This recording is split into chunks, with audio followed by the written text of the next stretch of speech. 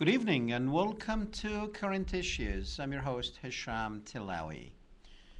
Welcome to the program, ladies and gentlemen. Tonight we are going to start with a tragic story out of the West Bank in Palestine. A bus accident, a school bus accident this morning, took the lives of at least 10 school children between the ages of 4 and 6 in a tragic road accident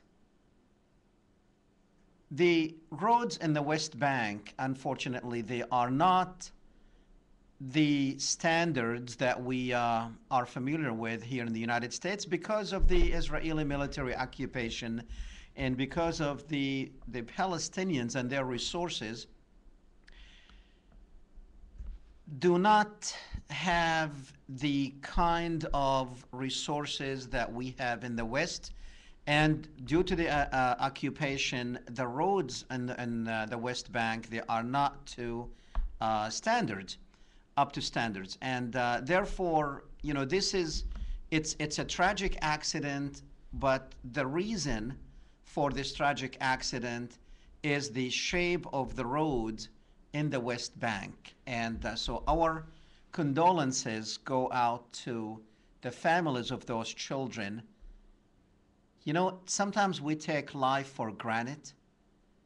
You kiss your children goodbye in the morning, go on, on a field trip from Jerusalem to the West Bank to Ramallah, and they don't come back. That's the tragedy of life. And unfortunately, it happened today.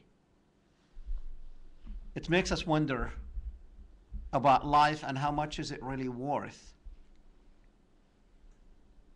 Let's just ponder that.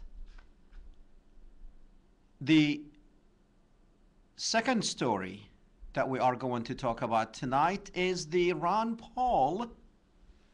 And is the GOP cheating him? Are they trying to cheat him of some votes in some of these states that are having caucuses? We will be talking about Maine in particular, where the GOP leadership in that state actually probably most likely have cheated Ron Paul on some votes and therefore Mitt Romney won that state, even though in actuality, if they did not do what they have done, Ron Paul would have probably won that state. So even within the GOP, it's not just the media that is fighting Ron Paul, it is also his own party that is fighting Ron Paul. And I guarantee you, if Ron Paul is on the ticket, on the GOP ticket, Ron Paul will win. You know, people from around the world have actually voted for their favorite American president or candidate in the GOP lineup. The votes would surprise you. Actually, we did have uh, some pictures, but we uh, unfortunately those pictures did not work to show you the result of people around the, uh, the world voting for the GOP candidate. 93% of people around the world voted for Ron Paul and the rest of them, all three of them, got 7% total between three of them. Gingrich, I think, got less than half percent, where uh, I think uh, Mitt Romney has gotten like 3%, and the other guy got 3% or something like that. But divide the seven between them, it doesn't matter. So if the people, if the people in the world know who the best man for the country don't you think you deserve, as an American citizen, don't you think you deserve to know who the best man for this country? But the problem is, we don't really know what reality is. We don't know if this world that we are living in, uh, this country that we live in, and we go and vote for presidential candidates, and we put presidents in and we put congressmen in, we don't know if that's really for real or just a show. Because definitely it's not for real. And definitely you are not voting for real. It's a play. You are an actor in this play. There's nothing about reality in our political system, period. Everything is a lie. Everything is a cheat. Everything is the way they design it, what they want it to be, and it will be. The power of money talks. You know, we have heard our president, and this is the main topic of tonight's program. We have heard our president, and yes, presidents, talking about Al Qaeda and that we are at war with Al Qaeda. And sometimes you, you know, you wonder what was this Al Qaeda all about? What is bin Laden all about? What is this Ayman al-Zawahiri that they got us his video last week? What is he all about? Who are these people? Where do they live? Where do they come from? Al Qaeda, now, mind you, that it did not even exist if we did not create it, if the United States did not create it. Now, this particular picture, and people who were close to when that picture was taken will tell you that these people they were in for the picture and most of them decided they want to cover their faces. Because this was a photo op when bin Laden this thing was probably the setting and that's the only picture you see for bin Laden with his military.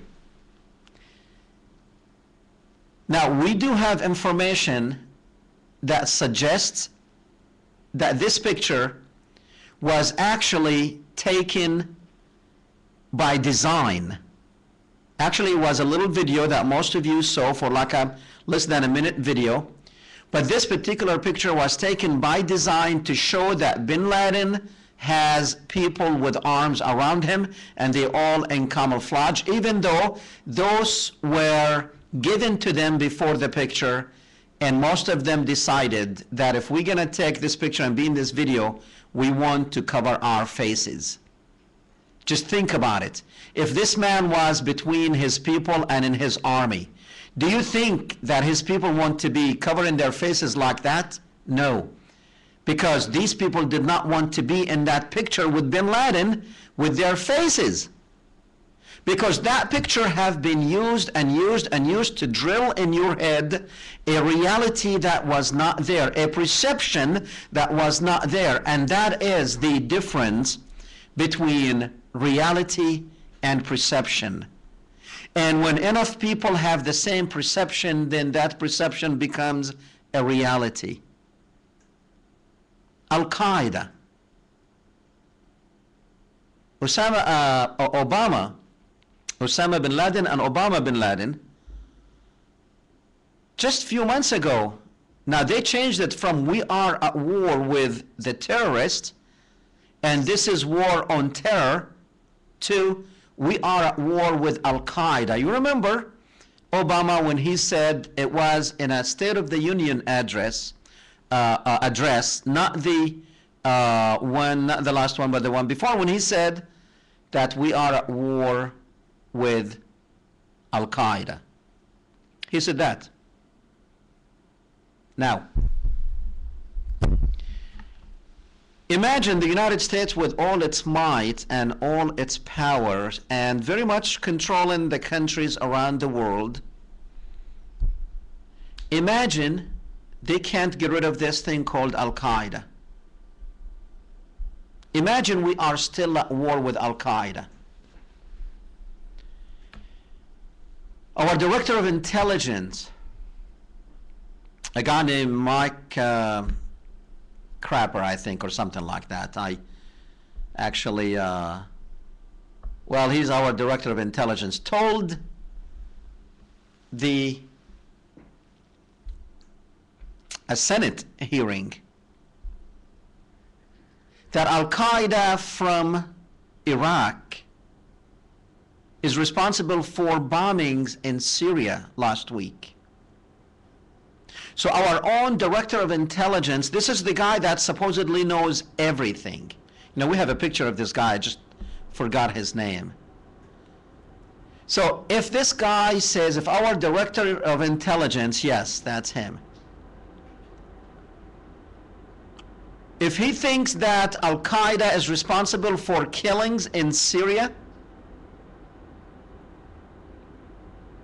and Al Qaeda in Iraq, and he said that Al Qaeda in Iraq actually has the largest group of all Al Qaeda affiliates throughout the Middle East. So it is the center of power for this thing that is called Al Qaeda is in Iraq. Now, this is what our own director of intelligence just told us last week that Al Qaeda in Iraq is moving hundreds of people, hundreds of fighters into Syria to commit these atrocities against the Syrian people. This is coming from our own director of intelligence.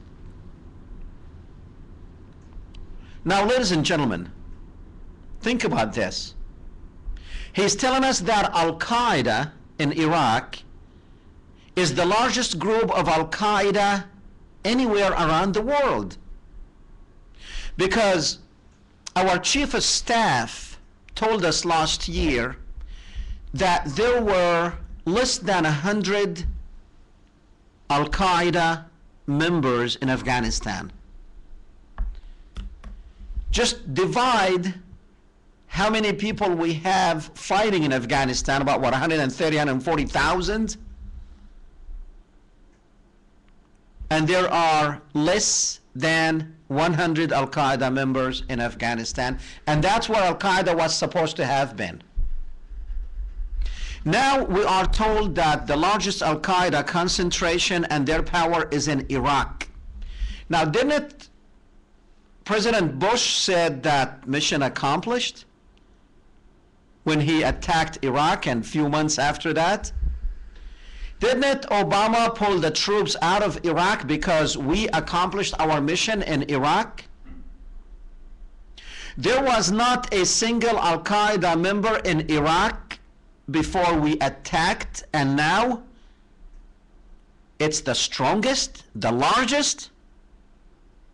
Does that make sense? Does that make sense coming out of our own director of intelligence? Does that make sense? We go, we destroy a country, we kill a million people there in Iraq because we are fighting Al Qaeda. There was no Al Qaeda in Iraq, none whatsoever, because they were at odds with Saddam Hussein. They did not like each other. And now Al Qaeda has largest group that is influential enough, that is strong enough to actually go between countries and commit bombings in Syria? And that's coming from our own director of intelligence.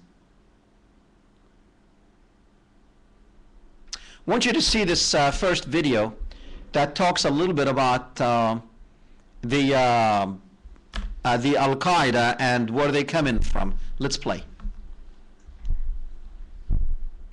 On Sunday, al-Qaeda head Ayman al-Zawahiri urged militants from neighboring countries to join the fight against Syria's Bashar al-Assad. In a video, Zawahiri said protesters should not rely on the West, Turkey, or the Arab League.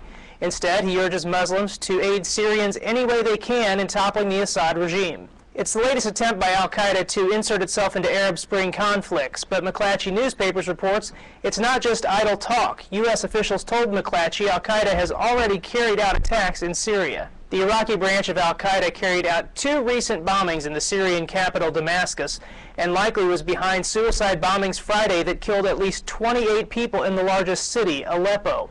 An Iraqi official told the Associated Press that militants are already moving across the border to Syria. CNN points out these new revelations are playing right into the Assad regime's story. The Syrian government has consistently argued since the beginning of this uprising nearly 11 months ago that it is fighting armed terrorists linked to al-Qaeda. Reports from Syria have shown anti-Assad protesters becoming increasingly militarized. There are reports of protesters fighting the Syrian army using tactics much like al-Qaeda in Iraq used against U.S. forces. A BBC correspondent says these new reports will make any international response to the Syria crisis much more difficult. There have already been reports of Islamic militants crossing into Syria from Iraq. If violent Islamic extremists are becoming increasingly involved, it is going to muddy the waters of an already very complex situation. On Sunday, the Arab League proposed a joint peacekeeping mission with the UN. At the same meeting, the head of the League's observer mission in Okay. The funny thing, what our director of intelligence uh, uh, also said, that some of these groups in Syria have been infiltrated by Al Qaeda members coming from Iraq. And he even added that they even don't know that these groups that have been infiltrated, they even don't know that they have been infiltrated by Al Qaeda. But yet, our director of intelligence knows that they have been infiltrated by Al Qaeda and they don't even know it. So, how is that? Who's directing Al Qaeda? Is the CIA directing Al Qaeda? Is the CIA is the CIA an arm of the United States government and Al Qaeda as an arm of, a, of the CIA?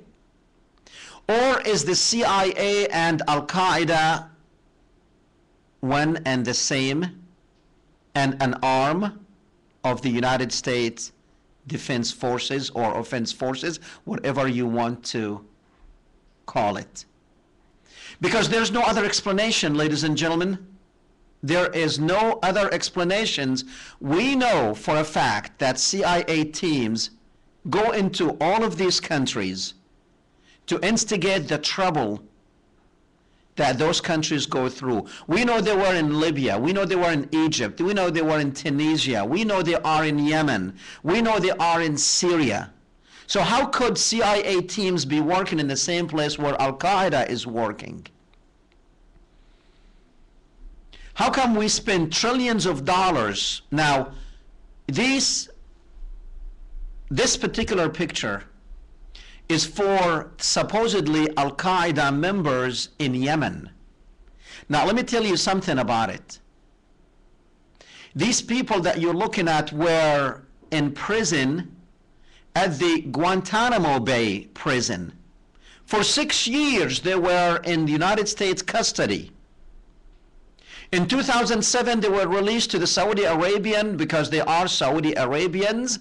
They were released to the Saudi Arabian government who put them in prison for another year.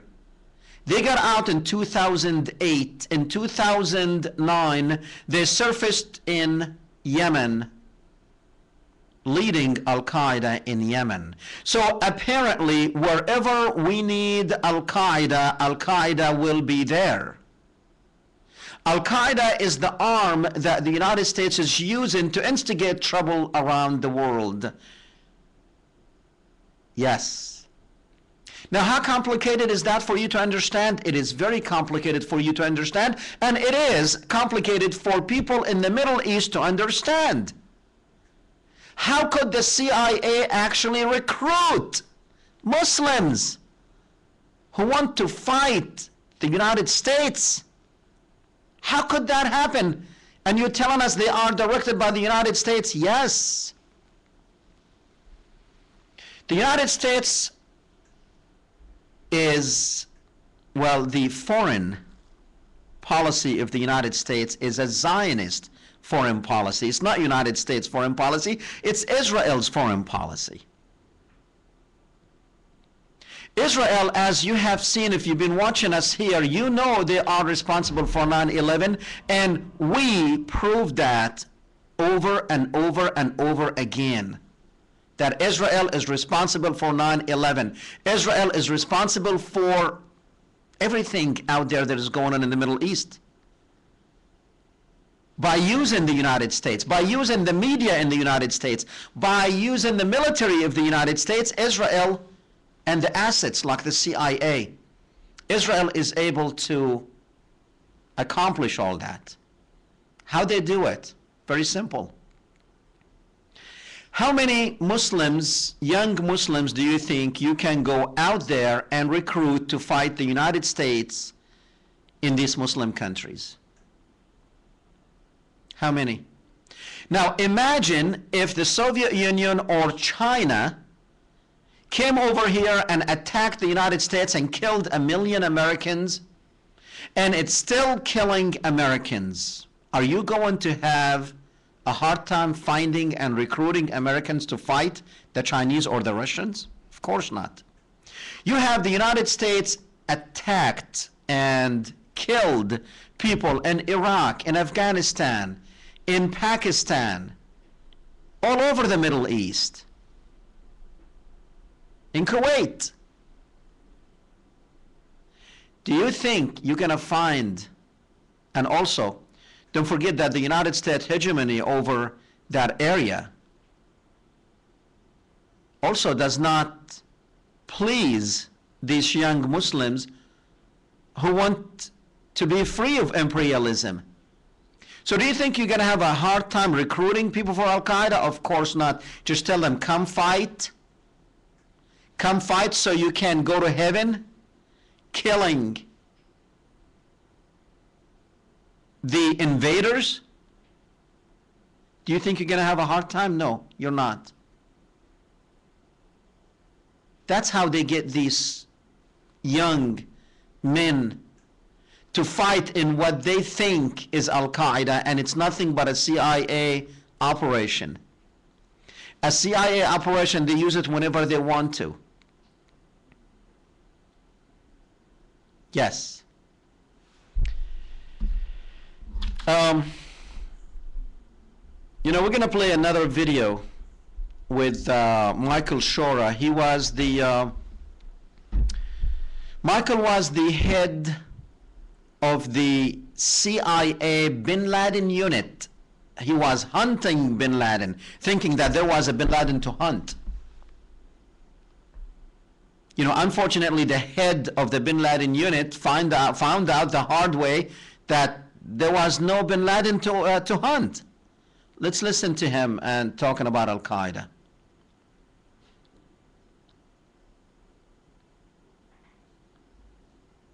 We're sitting down with Michael Scheuer, the man who had served in the CIA for more than 20 years, up until 2004. At one time, he was the chief of the CIA bin Laden unit. Then he went and exposed how counter-effective Washington's methods were in the fight against terror. He looked at the U.S. through its enemy's eyes. In fact, it's the title of one of his books called uh, Through Our Enemy's Eyes. I'm very pleased to have the chance to interview you, Thank Mr. you. I'm glad to be here. Bin Laden is gone. Who is Washington's number one enemy now? Washington's enemy is an enemy that doesn't exist. We're fighting an, uh, an Islamic enemy that uh, Washington believes is out to kill us because we have elections, because we're free, because we have women in the workplace. It's an enemy that doesn't exist. It didn't exist when bin Laden was alive. It doesn't exist now. America is being attacked because of its foreign policy in the, in the Muslim world, because of its support for Israel, because of its support for the Saudi police state, because of its presence on the Arab Peninsula.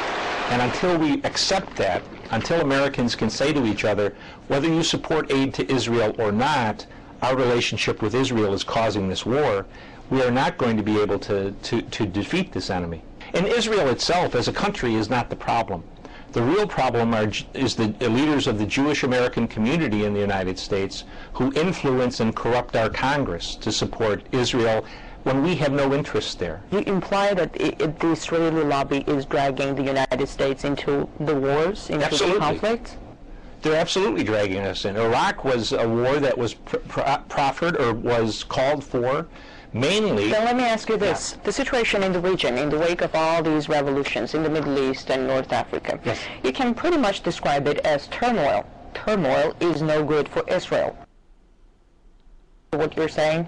Well, the, the, the American political establishment is caught between two things. They're extremely pro-Israel, and they're almost Marxist in their belief that democracy and the spread of democracy is inevitable in all places, in all peoples, at all times. And so they need to protect the Israelis, but they can't say what is a reality. For example, there is not going to be a democracy in Tunisia. Or, or, or, or Libya or Egypt that in any way resembles democracy in the West. And yet they, what they've done is create anarchy. They've created a situation where the only beneficiaries are the Islamists. The guns that have flown out of Egypt, out of Tunisia, out of Libya to the Islamists have been enormous in their volume. And the prisons that were opened in Egypt, Tunisia, and Libya have reinforced the Islamist groups across the world. So eh, their, their, their mindless, their mindless uh, pursuit of secular democracy, at the end of the day, endangers the stability of the region and probably the whole world. Are you saying we're going to see further radicalization of the region? Oh, especially in Africa. Yes, ma'am. The guns that are flowing out of the three places where there were Arab Spring revolts are going to cause problems in Somalia, across North Africa, and in Nigeria. Let's talk about Syria. Yes. Syria says the earth will start shaking if anyone intervenes in their internal affairs. How badly does the U.S. Uh, is the U.S. trying to interfere? Oh, I think we're, we're interfering uh, unconscionably. Uh, until they removed the U.S. ambassador, he was running around the country trying to encourage groups to overthrow the Syrian government. That is not the role of any diplomat, United States or Russian or Chinese or British. Uh, we have um, really very cold-bloodedly urged Syrians to get out on the street knowing that they're going to get shot down by their government. Uh, again, Syria is a country where there is no U.S. interest. Since I was a little boy, we've been afraid of the Syrians, and if you look at the map, it's hard to imagine that little blot of country called Syria could be a threat to the United States. We're sitting down with Michael Scheuer. Okay, well, so um, you can see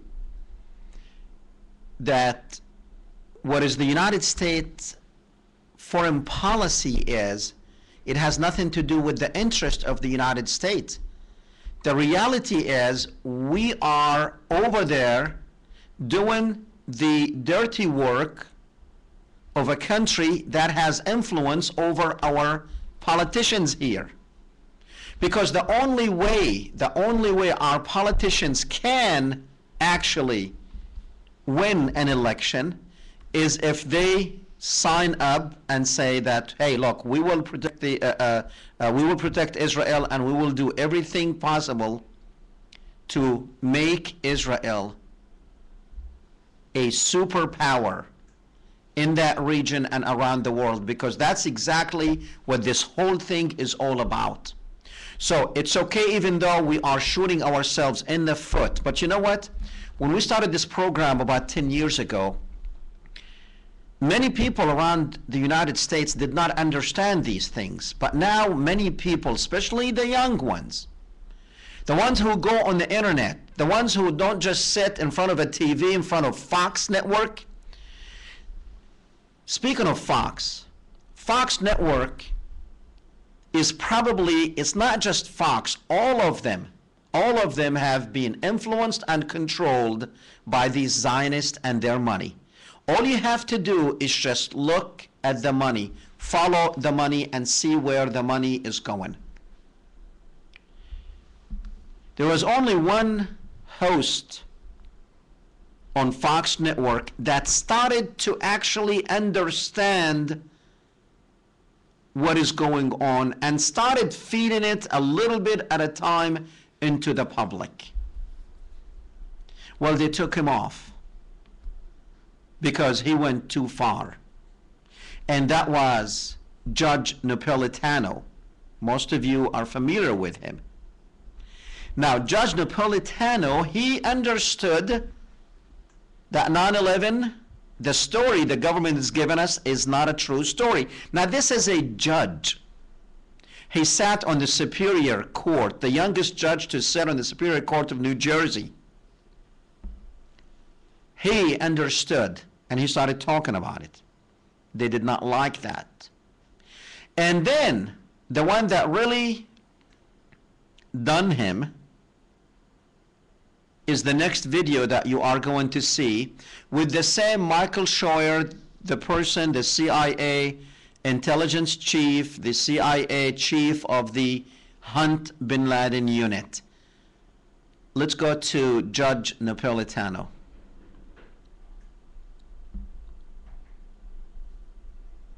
DOJ's announcement of the foiled Iranian terror plot on the Saudi Arabian ambassador to the U.S. comes at a time, as we were just discussing, when Eric Holder has been subpoenaed for the Fast and Furious operation, a scandalous uh, event that put U.S. firearms, military-grade weapons in the hands of Mexican drug cartels. So what can we make of all this? For big picture analysis, we also turn to former CIA operative and chief of the Bin Laden unit, Michael Scheuer. Michael, it's always a pleasure. Uh, welcome back to Freedom Watch. Thank you, Judge. Uh, why, why do you think uh, the Attorney General is hyping this so-called threat from Iran? Why do you think it was announced when it was announced? And does any of this make sense to you? Well, I think first of all, uh, Ms. Miller's description of the operation is is correct. It's like a Marx Brothers movie, but without the Marx Brothers, just some dummies they, they recruit from the street. Uh, I, I, think uh, one thing we need to keep in mind is that the performance of the FBI and DOJ in the area of terrorism has been pretty pathetic over the past couple years. They may have jumped at something because it gave an appearance of, of, of actually uh, being successful, but really, it, it turns out to be just another sting, Judge. Uh, this is another another uh, uh, counterterrorism operation at the end of the day that lured somebody into running it, apparently. All right, this, is, this is basically uh, a claim by the federal government that it protected us from harm that was never really there and never really threatening us to begin with.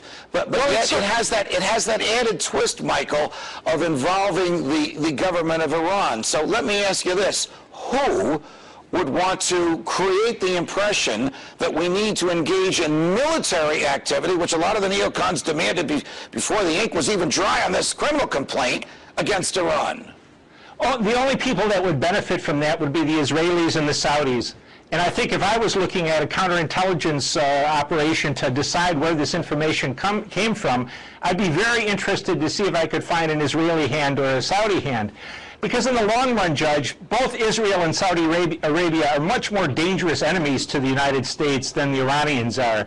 The Iranians are a third-rate uh, military power that we could handle very easily.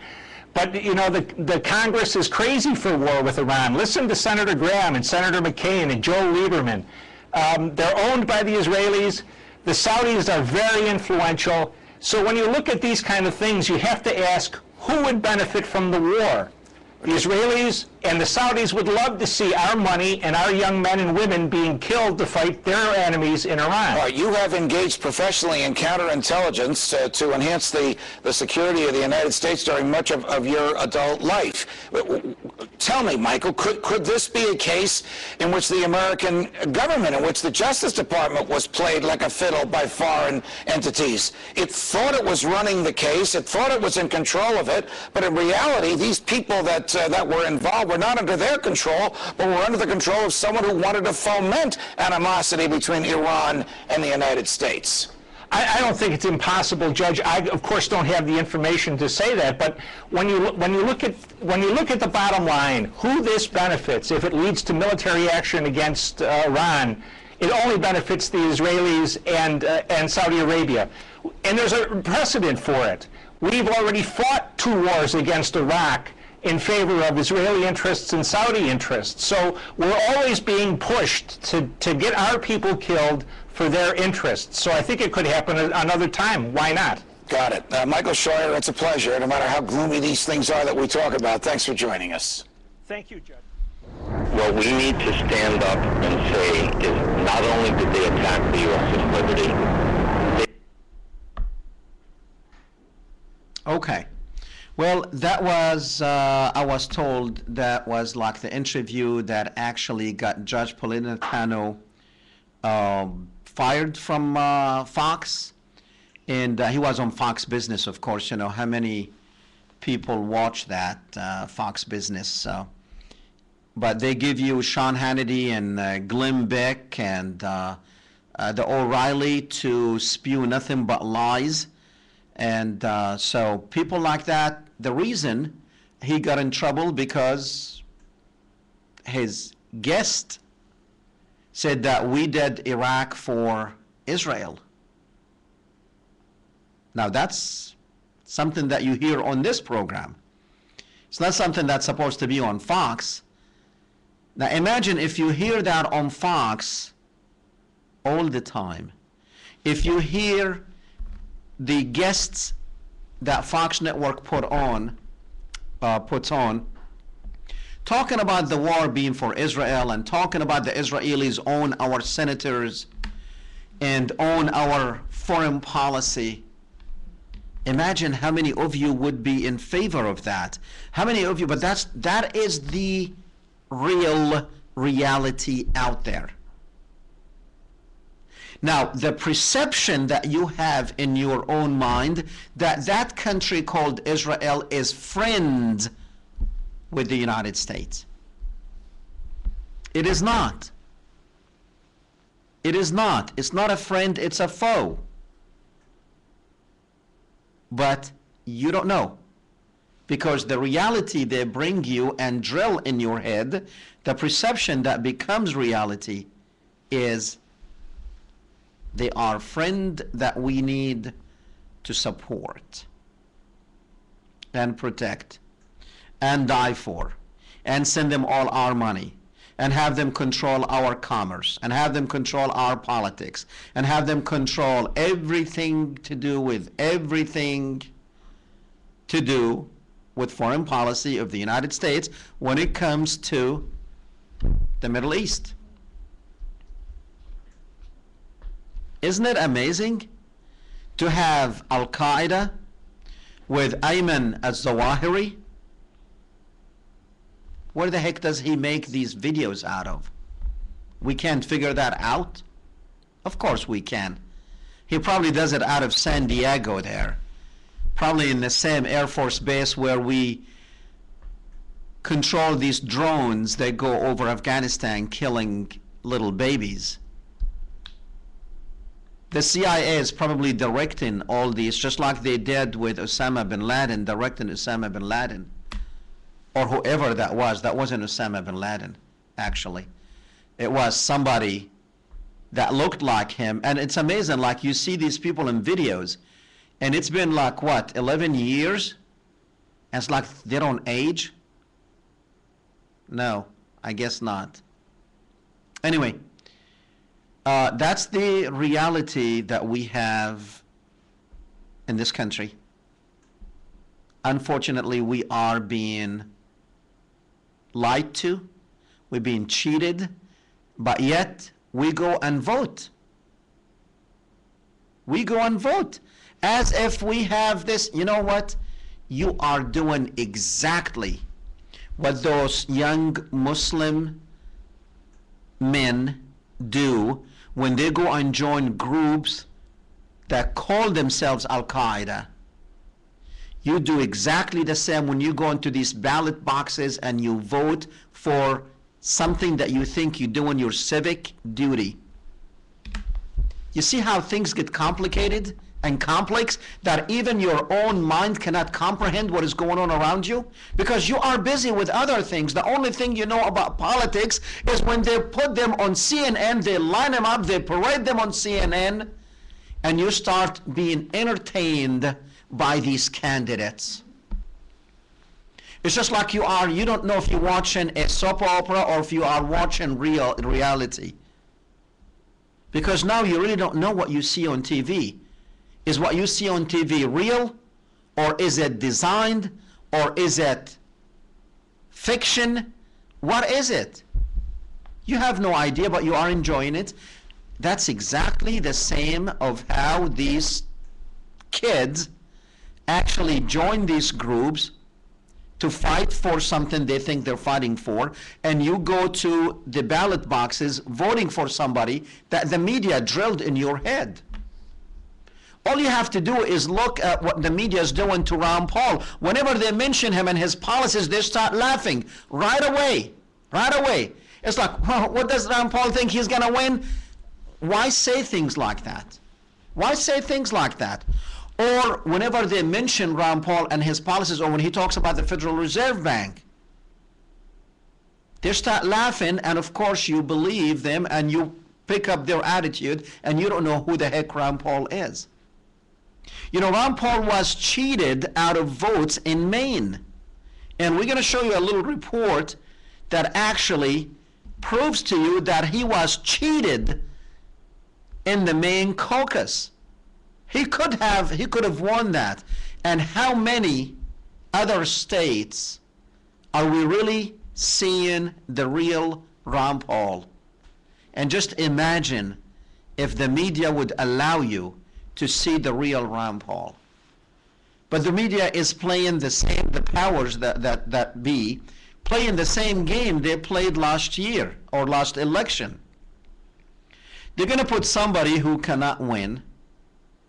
Now, I guarantee you, Mitt Romney, this country is not ready, you know, even if he's the best, this country is not ready to turn over its power to a Mormon. They're not. They're not going to do it. Just for that, just because he's Mormon, they're not going to do it. You know, I don't know how John Kennedy actually slipped through because he's Catholic.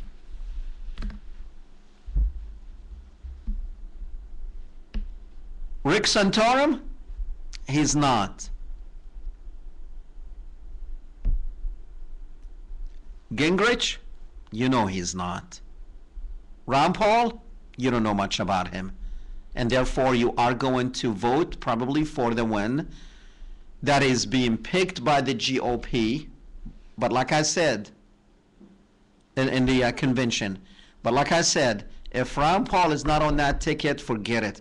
And I hope he's not going to be a vice president. I hope he will not accept a vice president slot because he will, he would have had defeated everything that he's been trying to do. He would have, it's, it's better for him to shoot himself than go on the ticket as a vice president. If Ron Paul is not the president, if he's not the nominee, which, well, you do the numbers, but I think his message is out there. And he's very popular with the young people, the educated people. He's very popular with them. Why? Because they can get his program, his ideas. They know what it is. Let's show you how he, in Maine, uh, he was cheated of some votes. He actually won Maine, but they gave it to Mitt Romney. The headlines this weekend. Republican presidential candidate Mitt Romney is back on track after winning the Maine caucuses. What the headlines haven't told you is that what happened in Maine is the messiest caucus Republicans have had so far, and it may not be over just yet. So was there rampant voter fraud in Maine? Then it is investigating a reality check that you won't see anywhere else.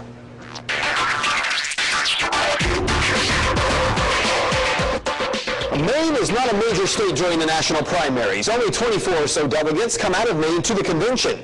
But what happened there over the weekend does more than just raise eyebrows. It is enough to make you question, was the caucus fixed? Saturday night, February 11th, the head of the Maine GOP, Charlie Webster, announced that Governor Mitt Romney won the Maine caucus by a slim margin. Official totals read that Romney barely won the caucus by less than 200 votes. The only problem? The governor was declared the winner with only 84% of precincts counted. Two counties, Washington County and Hancock County, had not held their caucuses. In Hancock, county Republicans had decided to hold their caucus this Saturday, February 18th. In Washington County, though, the state canceled the caucus because of snow concerns. Turns out the area only got a light dusting. Now, the problem here, Mr. Webster says even when those caucuses are held this Saturday, the votes won't count. I talked with him on the phone. On February 11th, that was election day. Our rules said this is when you're going to have to vote by this date. Um, you know, if you're out of town that day, you don't get your vote counted. I'll let the people, the caucus, the, the caucuses will be held. The state committee, our governing body, will have to decide if we want to expand that. You heard right. The head of the GOP in Maine saying that the caucuses will be held this weekend, and even though party officials were the ones who canceled the caucus in Washington County, they will not count the votes of those who turn out because they missed the February 11th deadline. And if the party decides to count those votes, well, they won't make that decision until the second week of March after Super Tuesday. Well, that alone has caused a huge blow-up across Maine. The state Senate president, Kevin Raye, says that, quote, our votes in Washington County must count as much as votes cast anywhere else, end quote. And Mr. Webster says it doesn't matter if the votes are counted because really it's just a straw poll. And he is correct that it is a straw poll and that the delegates are not bound to any candidate, meaning the delegates can vote in the convention for whomever they choose. But if you want to disregard the straw poll, don't hold one in the first place. But aside from the state GOP not wanting to include Washington County, there is another major issue from these Maine caucuses. Even though Governor Romney was already declared the winner, the numbers that the state GOP in Maine are reporting are, according to caucus chairman, incorrect. Uh, take, for instance, Waldo County, where voters from 18 towns gathered for municipal caucuses in a countywide event. A total of 138 votes were cast.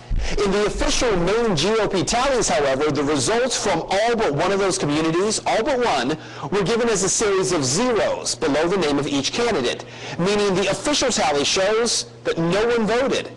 The town of Belfast was one of 10 towns that held a joint caucus on the same day. That caucus was held on February 4th. I talked with Matt McDonald, a pastor of a small community. Okay. So in Maine, you know, the GOP leadership decided to cancel election in some counties. They call them counties in all other states. We call them parishes here. So they decided to cancel it, but yet they're postponing until next week. But they're saying that if you did not do it on the 11th, well, it doesn't count. The reason is those counties that were canceled, uh, uh, the the votes were canceled in, and you know we did not want to go through with the uh, uh, with the uh, with that report because of uh, time constraints here. The problem is those most of these people voted for Ron Paul. It was a Ron Paul county, and if they would have counted it, and if they did not cancel it, Ron Paul would have won Maine. But they did it so Romney. You talk about fixing. Now, now we know garbage does take place in politics. It takes place in politics everywhere. Cheating and fixing takes place everywhere. But that's not a democracy. That is not a democracy. I don't know what you want to call it. But again, Ron Paul, everybody's scared of Ron Paul because Ron Paul has some ideas. You know, one of the things that you see in Ron Paul's um, gatherings and his rallies is he's on this kick to abolish the Federal Reserve Bank. Imagine, how many of you know anything about the Federal Reserve Bank? You know, we're going to hear uh, Ron Paul's brother actually tell us a little bit about the Federal Reserve Bank. Maybe you will understand more and more of what the Federal Reserve Bank is all about and why Ron Paul actually wants to abolish that and bring, by the way, the Constitution, everybody talks about the Constitution. The Constitution says that only people can issue money, currency. Now, when we say people in the United States, that's their representatives, which is Congress can issue money, not a private entity like the Federal Reserve Bank and sell it to the United States Treasury at interest. Let's hear the brother of Ron Paul. While at the End the Fed rally outside the Federal Reserve Bank in Dallas, Texas, we spoke with Ron Paul's brother, Wayne Paul. 1913, the Federal Reserve Act was passed of the House where three members of Congress were on the floor. At that time, they only needed a majority of votes to pass it. So in 1913, the Federal Reserve Act was passed. 20 years later, 1933, under Roosevelt, the United States was declared bankrupt. And in 1933, the Federal Reserve Private Bank says, okay, USA, what are you going to pledge as collateral on the debt you owe me? What happened by 1936? Does anybody know? They had us turn their We instituted social security system, and you and I and our children and our children's children were pledged as collateral on the debt of our government to the Federal Reserve. And that's where we're at today. took 20 years to make this country bankrupt, and since then, our government has operated under emergency powers of our government. It is not the president that makes the decision in this country. It's the Secretary of Treasury who turns around and is put in there by the Federal Reserve to manage the bankruptcy. We've been in bankruptcy ever since. So to print $700 billion and to give it away, how do they get away with it?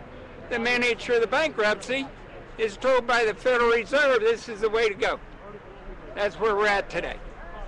Yes, we should point out, Congressman Ron Paul now has a huge amount of sponsors for a bill in the House of Representatives to abolish the private Federal Reserve crime syndicate. In 1913, the money power of the country was taken away from the people by constitutional privilege. It belongs with the Congress, but it was given up in the Federal Reserve Act. The Federal Reserve is no more federal than Federal Express, but yet it has the power to determine the direction of use of money in our economy. If we could take that power back and put the Federal Reserve under Treasury, we start to be in a position of being able to control monetary policy on behalf of the United States people. The Federal Reserve is totally private, and Alan Greenspan two weeks ago on PBS on Lehrer NewsHour said on record that they are above the law, the Congress, the President, everyone. No court can do anything. We run America. What is the uh, proper relationship, what should be the proper relationship between a chairman of the Fed and a president of the United States? Well, first of all, the Federal Reserve is an independent agency, and that means basically that uh, there is no a- other agency of government which can overrule actions that we take. So long as that is in place and there is no evidence that the administration or the Congress or anybody else is uh, requesting that we do things other than what we think is the appropriate thing, then what the relationships are uh, don't frankly matter. Notice what Greenspan is saying. Greenspan is saying the Federal Reserve is beyond the law. And in reality, they are in practice beyond the law. Nobody, as far as I know, has ever audited the Federal Reserve. One of the first things we ought to do when we nationalize the Fed is go in there and find out the audit. Who stole money? Who engaged in corruption? There's a whole series of people going back to Volcker, to Greenspan, to Bernanke, uh, and so forth. Okay. Greenspan, Bernanke, all of them, all the head of the Federal Reserve Bank, what are they? Research them, find out what they are. Where do they come from?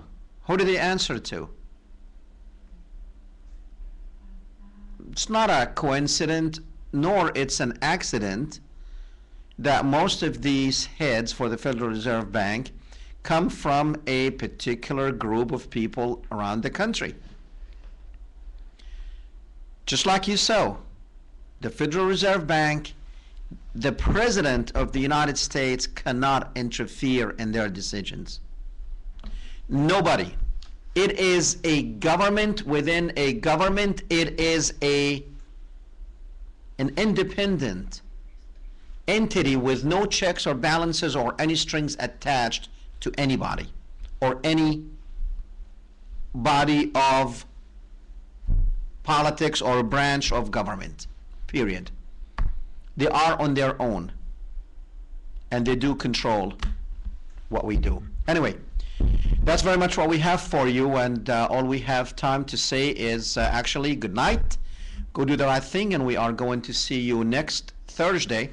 But I see a guy sitting here who don't want to come and uh, uh, get up here. And uh, why don't you come? He doesn't want to. Uh, what can I say? Um, we should turn the camera on him, but it's too late. We only have 10 seconds. And, well, come on. Now he decides. You better hurry up. Okay, well, he made his presence. Good night.